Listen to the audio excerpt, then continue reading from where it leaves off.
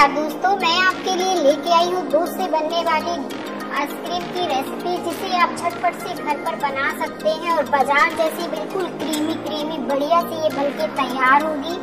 आप देखिए कितनी क्रीमी और बढ़िया बनी है। आज की रेसिपी आपको अच्छी लगे तो लाइक ज़रूर करिएगा और चलिए जल्दी से बनाना शुरू करते हैं हम इसे। इसे बनाने के लिए हमने यहाँ पे एक कढ़ाई ले ली है और इसमें हम डालेंगे कोई भी इस्तेमाल कर सकते हैं, जो भी आपके पास हो।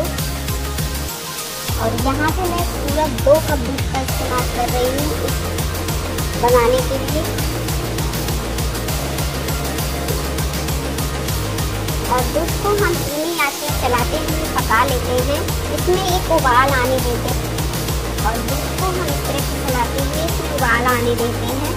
और जैसे जैसे मौसम रहा है तो बच्चों को कुल्फी खाने का मन करता है तो हम बहुत ही कम सामान से घर पर झटपट से आइसक्रीम बना के तैयार करेंगे। और अब हम इसमें ऐड करने वाले हैं चीनी।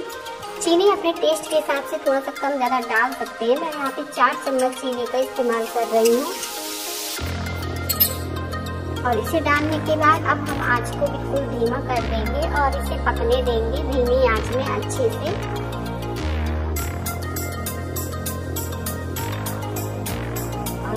उबाल आ रहे आने ही वाले हैं तो आँच को हम बिल्कुल धीमा कर देंगे ताकि ये कढ़ाई से निकले नहीं और धीमी आँच में इसे पकने देते हैं।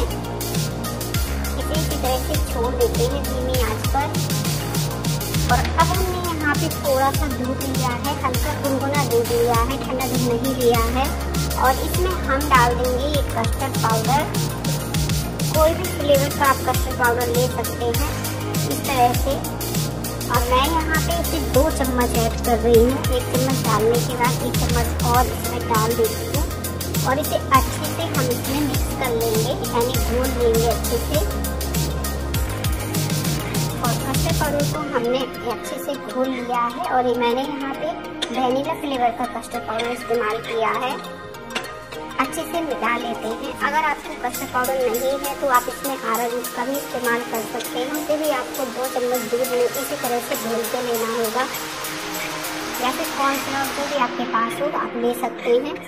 पर कस्टर्ड पाउडर से ही मार्केट जैसी सुपर टेस्टी कुल्फी बनेगी। इसलिए मैंने कस्टर्ड पाउडर का इस्तेमाल किया है। और दूध भी बढ़िया से थोड़ा सा गाढ़ा हो रहा है, धीमी आँच में। हमने इसे पकाया है।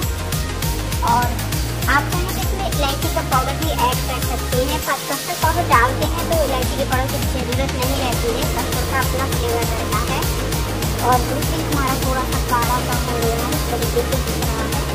तो आप जो कस्टर्ड हमने दूध के रखा था उसे ऐड करेंगे एक साथ नहीं ऐड करेंगे धीरे धीरे नीचे ऐड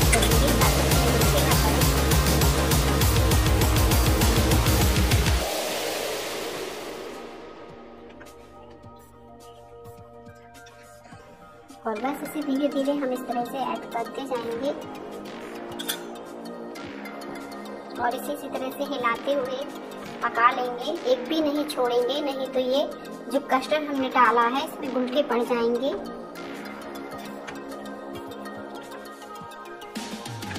और बस इसे हम चलाएँगे। थोड़ा सा हमें इसे पकाना रहता है। कस्टर्ड का कच्चापन ना रहे इसलिए। और अब हम बाकी का कस्टर्ड भी ऐड कर देते हैं। और आज हम विप क्रीम का इस्तेमाल नहीं करेंगे। बिना विप क्रीम के ही हम मार्केट को बनाएँगे। बिल्कुल मार्केट में मिलने वाली। झटपट से आप बना लेंगे। बीटर मशीन का भी इस्तेमाल नहीं करेंगे। इसमें हमें थोड़ा सा पकाना होगा, जब तक कि इससे कवर से ना बनने लगे। तो बस इस तरह से हम इसे चलाते हुए पका लेंगे।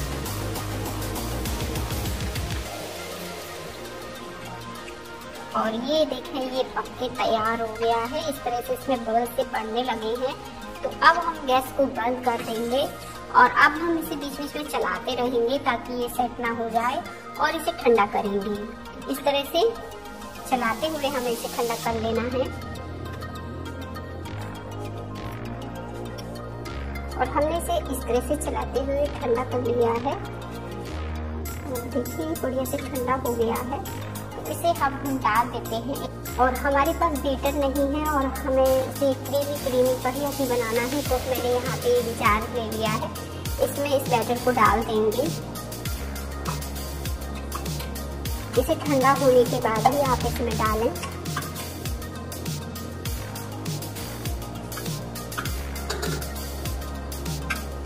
और इसे मैंने डाल दिया है और इसमें अब हम क्रीम बनाने के लिए इसमें हम डाल देंगे ये घर की ताज़ी मलाई, जो मैंने आधी दूध से निकाली थी, एकदम ताज़ी है।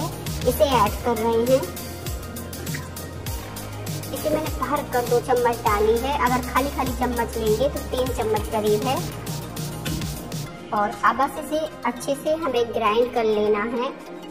आप यहाँ पर भी क्रीम का भी इस्तेमाल कर सकते हैं, अगर घर की ताज़ी मलाई नहीं है। या फिर सिंपल भी इसे बना सकते हैं, बिना मलाई के और बिना क्रीम के। सिर्फ़ आप इसे फेंट लीजिए। अब मैंने इसे कट करने के लिए यहाँ पे लंच बॉक्स लिया है। आप कोई भी टिफ़िन या कटोरा लंच बॉक्स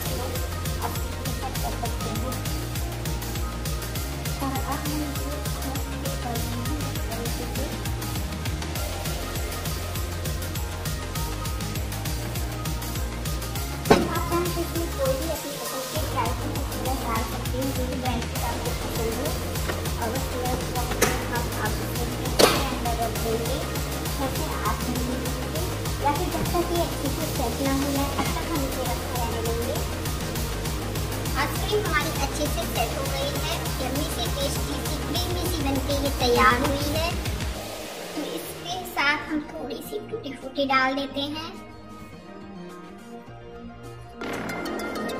आप चाहें तो कोई भी ड्राई फ्रूट अपने पसंद के इसमें ऐड कर सकते हैं जो ड्राई फ्रूट आप डालना चाहें और बस अब हम इसे काट के दिखाएँगे। आपको कि कितनी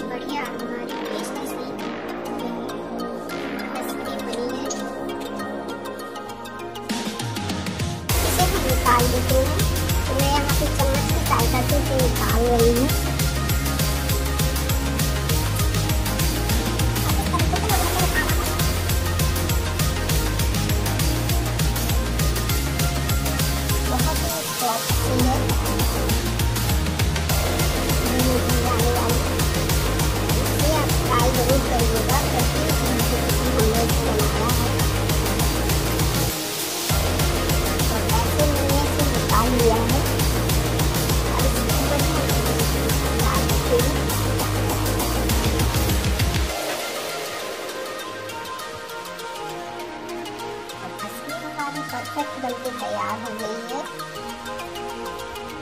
और आइसक्रीम हमारी बनके तैयार हो गई है। बिल्कुल मार्केट जैसी बिकने वाली आइसक्रीम बनी है। आप इसे ट्राई करिएगा। बहुत ही स्वादिष्ट और बढ़िया बनी है।